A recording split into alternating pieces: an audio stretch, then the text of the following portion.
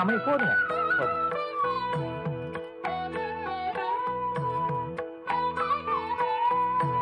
மொய் வைக்க போறீங்கல்ல? ஆமாங்க. அப்ப சாப்பிடுங்க. ஓ பாயசம் கொண்டாங்க ஐயா நேரம் ஆகுது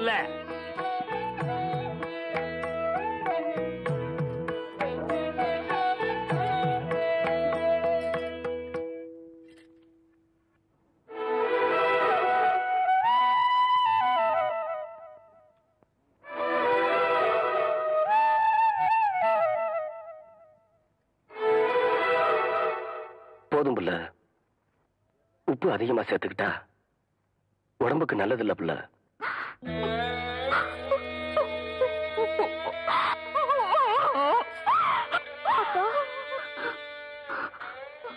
நமக்கு இந்த நிலைமை வந்ததுக்கு அரளவதையே அரிச்சு குடிச்சிருக்கலாம்க்கா. அது செய்யறதா ஆத்தா நம்மளை விட்டு போனப்பவே அதை செஞ்சிருப்பேன். ஆத்தா மனசுப்படி ஒன்னு ஆளாக்கி பார்க்கணும்னு நான் ஆசைப்பட்டுட்டேன். அதுக்காக எத்தனை சோதனை வந்தாலும் நான் தாங்கிப்பேம்மா. அம்மணி தெய்வனே இப்படி ஆளாளுக்கு மாத்தி மாத்தி அழுதுட்டு இருந்தா எப்படி மணி பந்தி முடிஞ்சு போச்சு அம்மணி இலைய நீ தானே எடுக்கணும். ராமணி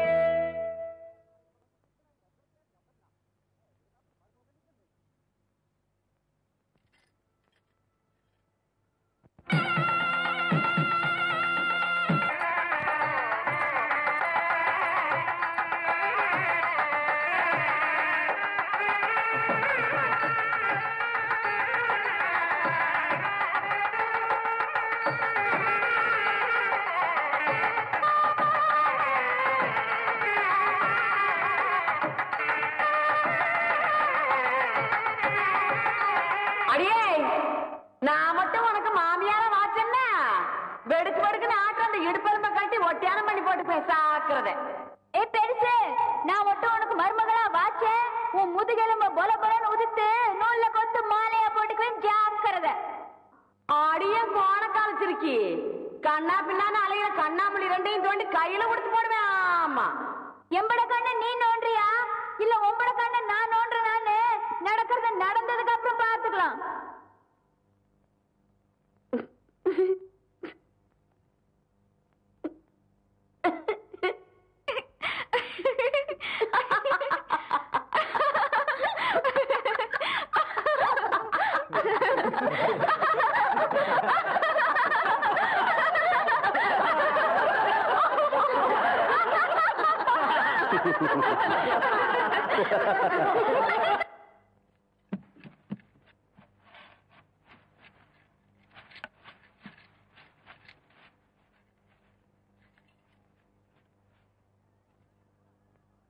வாதாயி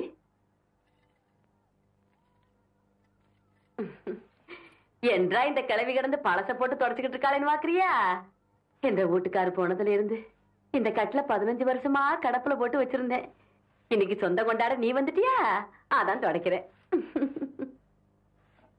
இது வாரதாயி இந்த கட்டுல இருக்குதே. பரம்பரை பரம்பரையா நம்ம குடும்பத்துக்கு வாரிசு கொடுத்த கட்டுல. இதுல நான் தவம் இருந்து பெத்த என் பையன் தவசி மாதிரி. நீயும் ஒரு பேர பையனை பெத்து என் கையில கொடுத்து போடு. அதை விட்டு போட்டு உன் சுட்டி தம்பத்தையெல்லாம் இதை காட்டி போடாத. ஐயா என்ன இந்த வெட்டு வெட்டுறாள? என் பையன் கதி என்ன? 哎呀，大不济。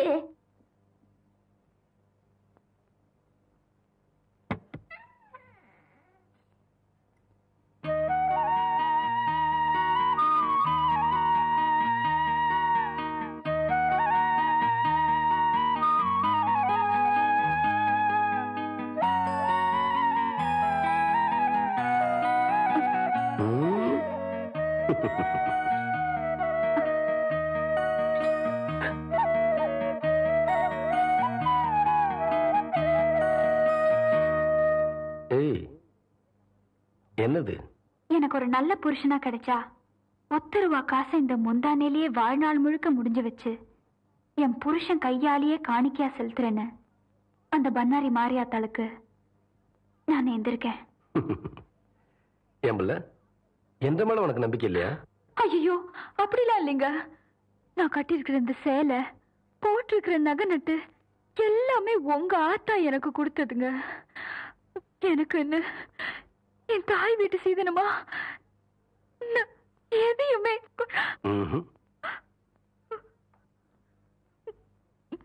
நீயே எனக்கு பெரிய சீதனம். நீ சொல்ற ஒன்ற தாய் வீட்டு சீதனம் ஏற்கனவே என்கிட்ட இருக்கு.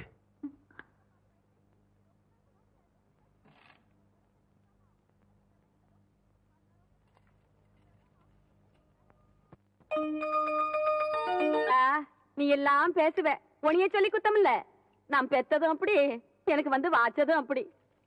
கேட்டியா புள்ள ஆத்தா ஜாடமாடியா சொல்றது உன்னையத்தான் சும்மா இருங்க எதை எப்போ செய்யணும்னு எனக்கு தெரியும் அக்கா வெளிநாட்டுல எல்லாம் குழாயிலேயே குழந்தை பத்தி தராங்களா அப்படியா புள்ள நீங்க சும்மா இருங்க மாமா அக்கா மட்டும் சரின்னு சொல்லட்டும் நானே உங்களுக்கு குழந்தை பெத்து தரேன் சரி புள்ள எப்படி சொன்ன.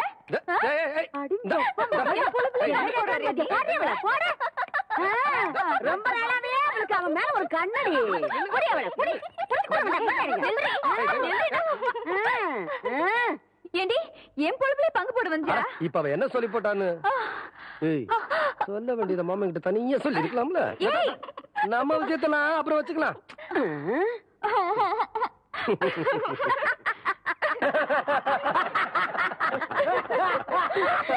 எப்படியோ எனக்கு பேர வந்தா சரிதா என்ற சம்பு.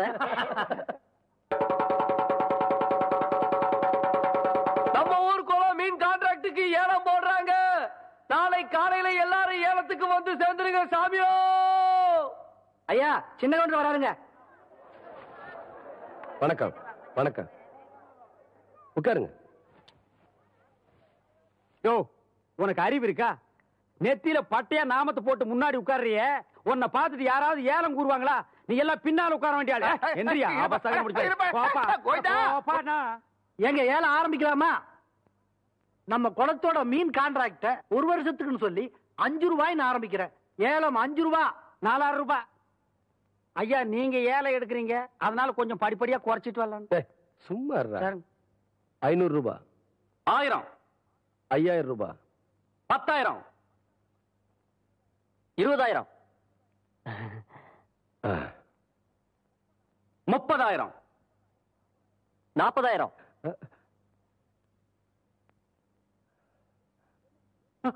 என்ன இதுக்கு மேல நீ கூற போறியா? ஐயோ அப்படி போடு. வாழ்க்கையில பல்லு விளக்குறதே கிடையாதா? நல்ல வேலை குளத்தோரமா போய் தும்மி இருந்த பூரா மீன் செத்து இருக்கும் ஐம்பதாயிரம்.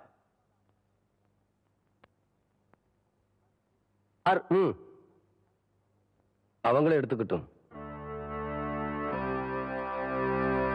சக்கரை கவுண்டர் ஐம்பதனாயிரம் ஒரு தரம். சக்கரை கவுண்டர் ஐம்பதனாயிரம் ரெண்டு தரம். சக்கரை கவுண்டர் ஐம்பதனாயிரம் மூணு தரம். ஏன்டா மலுசாமி உங்க சின்ன கவுண்டர் எந்திரிச்சு போறாரு? வருஷா வருஷம் அவர் எடுக்கிற குளத்தை சக்கரை கவுண்டர் எடுத்துட்டார்ல அதனாலதான் கோச்சிட்டு போறாருன்னு நினைக்கிறேன்.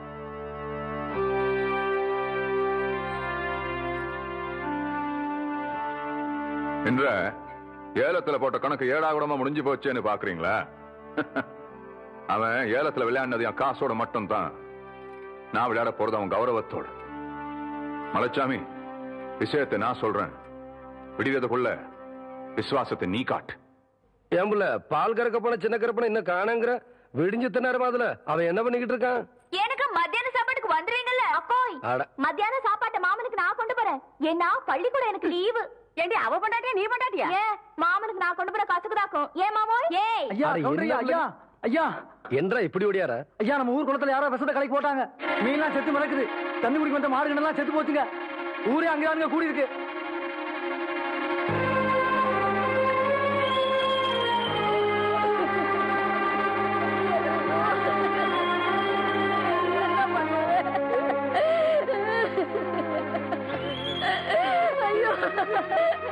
ஐயோ ஐயோ ஐயோ பெத்தவ தாய் மாதிரி எங்க குடும்பத்துக்கு சோறு போட்டுச்சு இப்படி அநியாயமா சாக கிடக்கு இனிமே நாங்க என்ன பண்ண போறோம்னு ஒண்ணும் புரியலையா ஐயா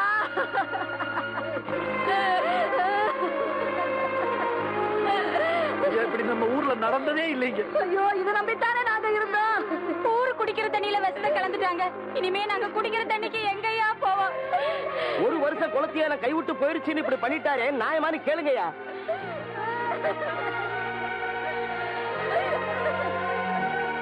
என்னையா பாத்துக்கிட்டு இருக்கீங்க? குடும்ப பகைய மனசுல வச்சுக்கிட்டு நாங்க ஏலம் எடுத்த குளத்துல விஷத்தை கலந்துட்டாரு நியாயமான அவரே கேளுங்கயா கவுண்டரே நேத்து உங்களுக்கு ஏலம் கிடைக்கலன்னு கோச்சிட்டு போன நீங்க இப்படி ஒரு காரியத்தை செய்வீங்கன்னு நாங்க எதிர்பார்க்கவே இல்லை. ஐயா ஐயா ஐயா. யோ யாரு யாரு மேலயா பழி போடுறீங்க? இந்த சின்ன கவுண்டர் ஐயா குடிக்கிற தண்ணியில விஷத்தை கலந்துட்டாரு. எலும்பு இல்லாத நாக்க வச்சு எப்படி வேணாலும் மடக்கி பேசுறீங்களா? கவுண்டர் நான் சொல்லல இந்த கூட்டத்தை நம்பாதீங்கன்னு. நேத்துக்கு நம்புனீங்க இன்னைக்கு கால வாரிட்டாங்க பாத்தீங்களா? யோ கால வாரினது யாருன்னு பஞ்சாயத்து முடிவு செய்யட்டும். நாளைக்கு பஞ்சாயத்துக்கு சின்ன கவுண்டர் வர சொல்லு. என்னையா சொன்ன? பஞ்சாயத்துக்கு சின்ன கவுண்டர் வரணுமா? நீங்க விடுங்க கவுண்டர் பின்ன பாருங்க. வெல்ல. சந்தேகப்படுறதுக்கு எல்லாத்துக்கும் உரிமை இருக்கு. குற்றவாளி யாருன்னு முடிவு பண்ண வேண்டியது பஞ்சாயத்து தான். அந்த பஞ்சாயத்துக்கே நாம மரியாதை கொடுக்கலனா நல்லா இருக்காது. பஞ்சாயத்துக்கு ஏற்பாடு பண்ணுங்க.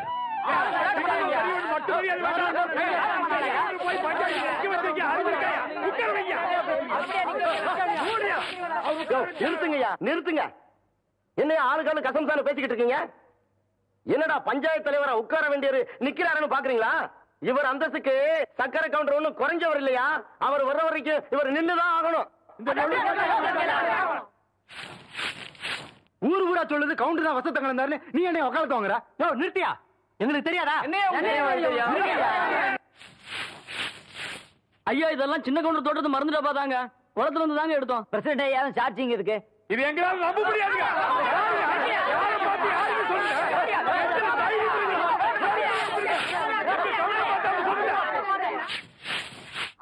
அக்கா அக்கா அக்கா மாமா எங்க போயிட்டாங்களா எங்க அப்பா வீட்டுல பேசிட்டு இருந்ததை நான் கேட்டேன். மாமாவை பஞ்சாயத்துல சிக்க வைக்க போறாங்களா?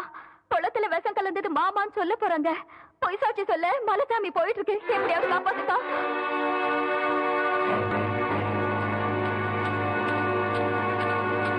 மலைசாமி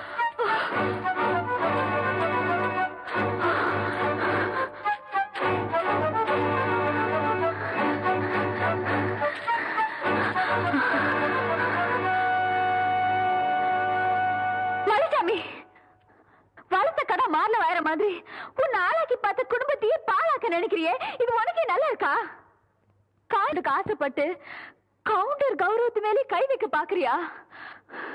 உண்ட வீட்டுக்கு ரெண்டகம் பண்ணிடாத கேவலம் ஆடு மாடு மேய்ச்சிட்டு இருந்த நீ? திடீர்னு ஒரு நாள் கவுண்டச்சி ஆயிட்டான்னு எனக்கே புத்தி சொல்ல வந்துட்டியா? படிச்சவனுக்கு என்ன மரியாதை கொடுக்கணும்ன்றது உன் புருஷனுக்கு தெரியல. அது என்னன்னு புரிய வைக்கிறதுக்கு தான் இப்ப நான் போய்கிட்டு இருக்கேன். பழசாமி நீ தங்கத்துக்கும் தகரத்துக்கும் வித்தியாசம் தெரியாம போயிட்டு இருக்க அவர் மகனும் சுடாத மவராச மாதிரி. ஒரு ஈ எறும்பு கூட தீங்கு நினைச்சது இல்ல அவருக்கு எதிர பொய் சாட்சி சொல்ல போயிடாத உன் கால வந்து கேக்குற அவருக்கு துரோகம் பண்ணிடாத ஆ?